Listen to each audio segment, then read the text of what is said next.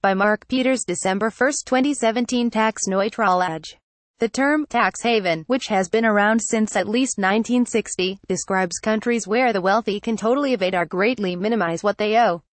Its original connotation was soft and squishy, ing more like warm respite, a haven in a storm, than sketchy avoidance.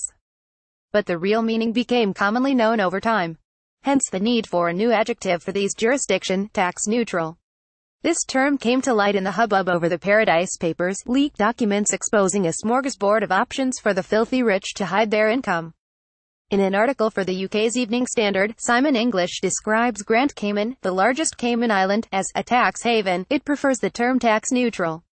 Well, no wonder. English then suggests another term that would be more honest. The most common word used to describe Cayman, alongside tax haven, is secretive.